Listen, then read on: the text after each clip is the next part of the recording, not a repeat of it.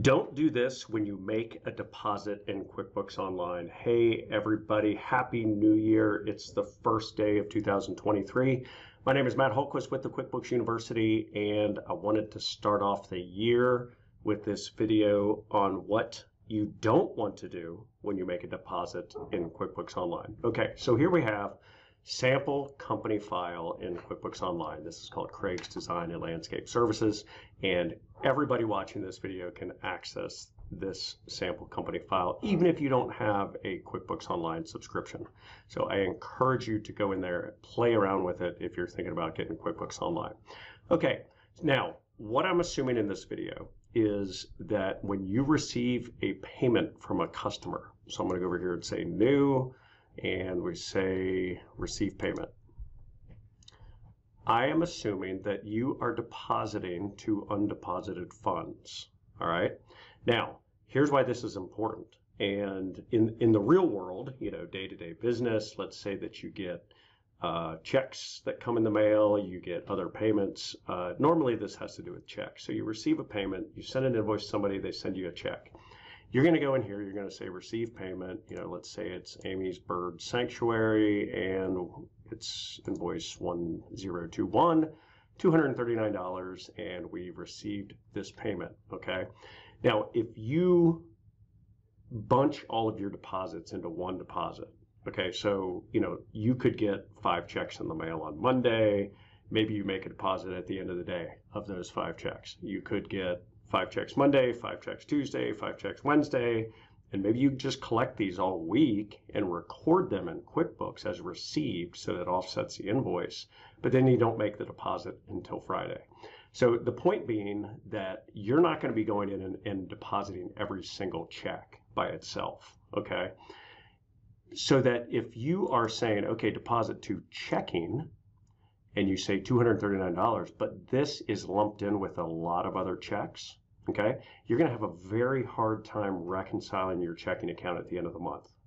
And the reason is, is because you won't see this one deposit for $239 come through on your account statement because it was lumped in with other checks. And so you want to mirror that in QuickBooks. You want to mirror those bank deposits in QuickBooks to make sure that when you go to reconcile, you're going to see that lump sum deposit of those five checks or whatever it is all come in at one time. It's going to make your life a whole lot easier when you reconcile.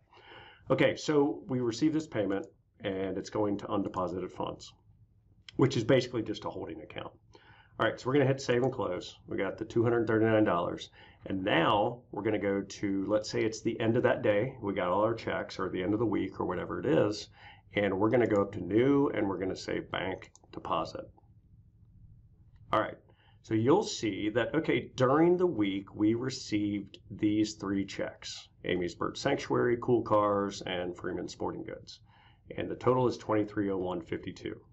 All right, now if you're not depositing all 2301.52 at one time, then don't record that all of these were deposited. Okay, so this could happen, for example, if you get, you know, five checks on you know Monday and you get two on Tuesday, well, let's say you deposit all five on Monday, but you don't go into QuickBooks and show them as received, and then you go in and you you know you get two on Tuesday, you deposit them in the bank, and you just go in and say, okay, deposit on deposit funds. So then at the end of the day, Tuesday, you're like, oh my gosh, I need to go in and put all these to my bank account. Well, if you do them all at once, you're going to run into the same problem that I just described a minute ago, which is you're going to show a deposit in QuickBooks when you go to reconcile at 2301.52, but in reality, if these were the only two you deposited at one time, uh, that's 1914.52. So your account statement will show 1914.52, but QuickBooks will show 2301.52, and you're going to have to find that difference, which is the 387. So again, it's going to get very confusing. So what you want to do, you don't want to do that. What you want to do is you want to check off which ones are physically going to be deposited at the same time. All right. So let's say that, you know, all three of these were deposited individually. You're going to say uh, Amy's Bird Sanctuary, 239 bucks, deposit to checking, 1123, and we're going to say save and new. All right, and then we're going to check off this one because it was deposited by itself. And we're going to say save and new. And then you're going to go to Freeman and you're going to check that off. Okay, so that is if you deposited each of those individually. If it was one lump sum, check them all off, deposit the bank account. Trust me, you're going to make your life way easier at the end of the month when you go to reconcile your checking account. Any questions, any comments, please feel free to leave those below.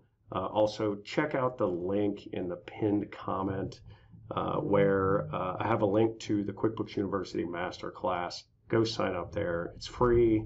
Uh, you will not regret it. Talk to you soon.